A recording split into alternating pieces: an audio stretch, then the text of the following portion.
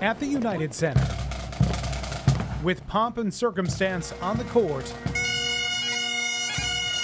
this is a game with a different pace, It's a charity game. a different purpose. It's to raise money for the Police Memorial Foundation, which helps police officers who have been critically injured, uh, helps families.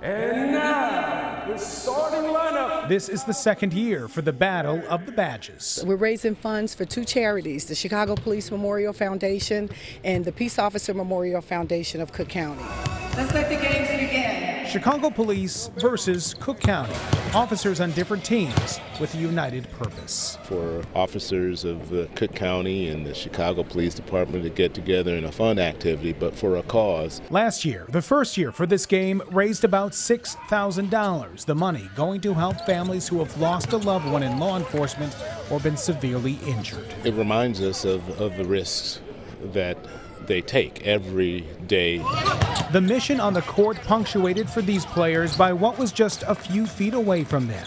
Honors to some of the officers lost in the line and off duty in the past year. We've had a lot of fallen officers. Um, these charities help the fallen officers' families.